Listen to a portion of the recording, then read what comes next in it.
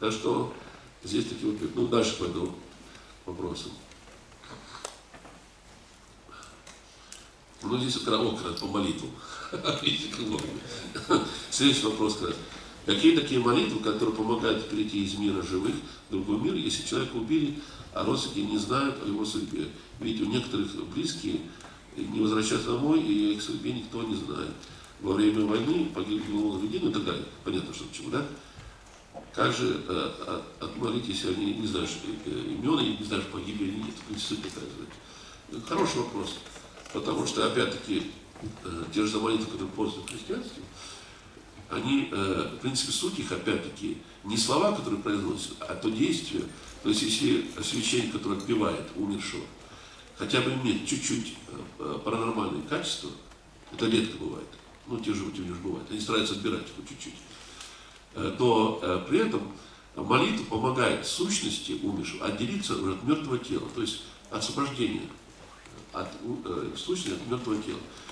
Теперь, э, как вы знаете, э, черные маги идут в церковь, ставят э, за живого человека, за упокой молитву. Знаете, да? Свечи ставят.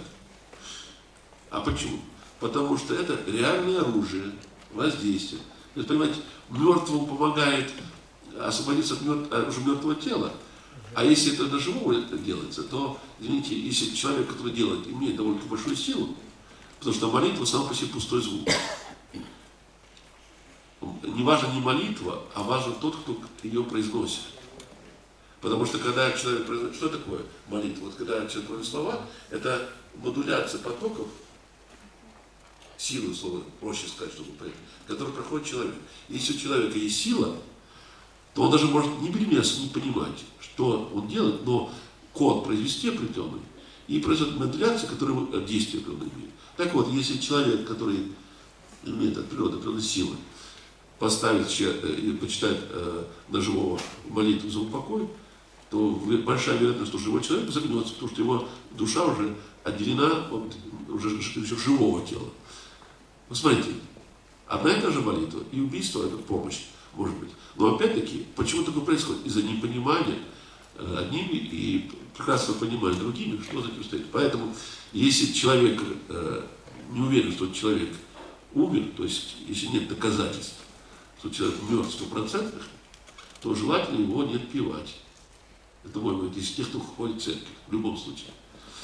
А в принципе, э, знаете, как наши предки определяли живой человек? Тогда же не было телефонов, там, и тем более самолетов. Знаете, как они определяли? Правильно, дерево. То есть, когда рождался ребенок, сажали дерево. И определенным обрядом связывали это дерево с человеком. И вот и когда человек уходил, бывало на многие годы, и на десятилетия человек уходил, по году уходил, когда на 20-30 лет, если вы понимаете, бывали такие вещи. И то родственники смотрели на дерево и постоянно дерево видели. Потому что когда э, энергетическая связь создана между человеком и деревом, если человек э, болеет, дерево болеет. Если дерево погибло, значит человек погиб. И люди увидели, что дерево зачахло, знали, что человек мертв. Без всякой телеграммы, без ничего. Забавно? А если срубить дерево, которое, э, э, конечно, будет определенный удар по человеку, с которым дело связано, но человек не умрет. И, к примеру, могу сказать, я являюсь сам в каком плане не срублено.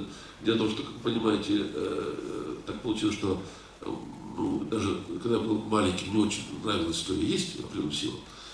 Вот. И э, а мой отец посадил и на меня и моего брата тополя, там в Кисловске, где я родился, на, в нашем дворе был посажен тополя.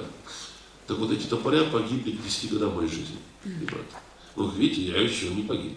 То есть с деревом, деревом в одном брат. Конечно, э, есть другие причины. Бывает так, что если человек, э, дерево очень мощное, и э, если связь с деревом очень сильна, то потеря подпитки от дерева человека может убить.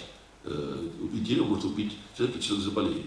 Но тем не менее, это не знаю. А точно, если человек погибает, то дерево загинается и э. И это даже многие знают, то, что если домашнее растение, хозяйка, пожилая женщина, допустим, умирает, и растения, которые цвели, цветочек, горшочек, они за ней тоже погибают. Хотя их поливают, то же самое. Вот другой пример, только другой связи уже.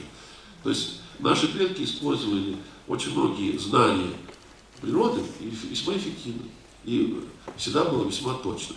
А вот иногда в горах, вот когда ходят по подземельям, там вот э, как бы видят э, умерших людей. Это они что, связь э, никак не могут уйти с земного плана? По-разному бывает. Чаще всего, если человек еще застрял на земле, между небом и землей, как говорят, А как его оттуда вытащить? Не знаю. Нет, для этого нужно проводить э, определенные действия, то есть взять его и, э, понимаете, э, есть э, сущность, э, она не, не создает потенциал, а она только пользуется потенциалом создания тела, в частности. Поэтому, если человек погибает, и в этот момент выбросит мощный потенциал, и, отр- открывается коридор, тоннель, по которому сущность уходит. Если по тем или иным причинам сущность не ушла по этому туннелю, все это закрывается, и человек оказывается здесь. То есть э, сущность уже сама уйти не может. Она, получается, вот, привидением становится. Вот в Ленинграде, говорят, очень много, вот когда после гибели, после голода, очень огромное количество людей не Конечно. могли покинуть. Вот как их можно, можно им помочь? Как Ну, в принципе, можно будет, конечно. Потому что Казан Ясновидящий сказал, что очень огромное количество. Они Ну, вот, естественно, там, не могли. Поэтому в Ленинграде вот эти все бедствия. Не знаю, правда или нет. ну, во-первых, вы, э, вы забыли, что э, при возведении э, э, Санкт-Петербурга Петр положил третье население, треть населения России в то время. Треть. Неплохо, да? Ну вот, как понимаете, сколько там загубленных э, человеческих душ, и которые непрекаянны в этом плане, потому что они не готовы были к смерти и так далее. И многие из них не ушли, потому что чаще всего, если человек погибает неожиданно, не, не- ну, на войне, там еще он готовится к войне, знает, что могут убить, поэтому, а, и даже так бывает. Ну, э, Я помню один забавный случай, связан с, э, с Афганом, потому что когда в 91 году я э, читал лекцию, среди одних слушателей был один э, военный, который учился в то время в Академии Фрунзе, да, знаю, сейчас называется, наверное, так называется. И он, э, я э, очень сильно был, и он стал видеть и слышать. И он один раз приходит ко мне, говорит, в шоке таком. Он говорит, вы знаете, э, там вот э, есть один солдат, который был поступил уже э, курсантом Академии, воевавшим в Афгане. Вот у него проблемы, у него раздвоение личности и так далее, и так далее. Вот я хотел ему помочь и настроился на него. И я получил информацию, он сам уже первый раз у него опыт такой был. Говорит, оказывается, что тот, э, это не раздвоение личности, там был, э, э, в него посидела сущность другого, э, капитан, я забыл фамилию, такой-то, который был ко- командиром вертолета боевого, который был сбит в Афгане, и вот он не ушел, не ушел, а прыгнул в тело этого солдата, который был, оказался рядом, и сидел в нем. И он э, передал ему точные данные, номер части, имена всех и так далее, и так далее. И он проверил, и 100% совпало. Он был в шоке. Каким образом это не приятно, это не государство, конечно, нет, это просто сущность этого офицера, капитана э, не смогла уйти по тем причинам и прыгнула в тело этого солдата, и тем более, так сказать, э, возникла ситуация, когда и я объяснил ему, что э, так сказать, нужно было сделать, чтобы помочь ему и тому, и другому.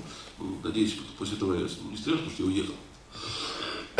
Уехал потом. Но надеюсь, он с этой задачей справится. Так что все эти вопросы можно решать, и, к сожалению, очень многие сущности, если они по тем причинам не пошли, когда дверь открыта, то вы вынуждены болтаться здесь. Значит, можно Ленинграду помочь? Ну, в принципе, да. Так, А следующий для вопрос. надо, чтобы оттуда Нет, запрос пришел? нет, нет, нет, нет. Для этого не нужен запрос. Это нужно просто найти время, чтобы провести действие, все. Все. Из вашей книги э,